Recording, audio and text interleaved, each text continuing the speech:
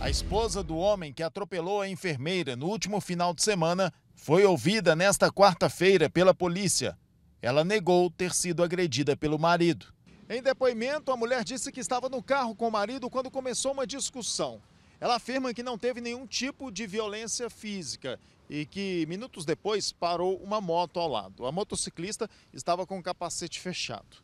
Aí ela conta que o casal se assustou, ela desceu do carro e saiu correndo e não viu quando o marido avançou com o veículo para cima da moto. A dona Maiara, que não não é acusada, ela é vítima, foi ouvida como vítima, né, e foi descrito ali esses fatos propriamente dito. Né? Nós simplesmente acompanhamos, né? ela foi relatar o que aconteceu e a defesa simplesmente é, acompanhou. Então, segundo ela, não houve agressão?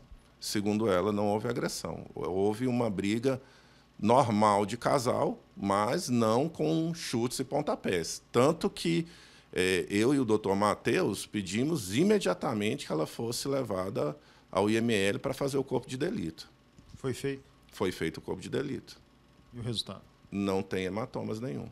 No chão ainda estão as marcas do atropelamento.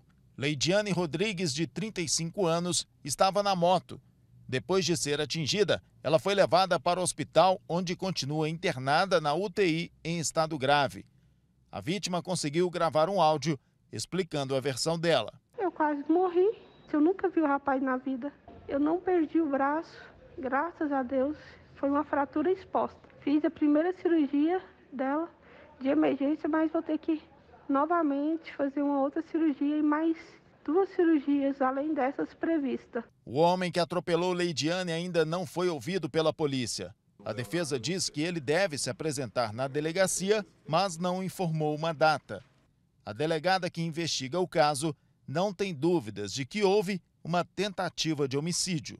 Ele chocou o carro imprensando a moto da Leidiane contra o poste.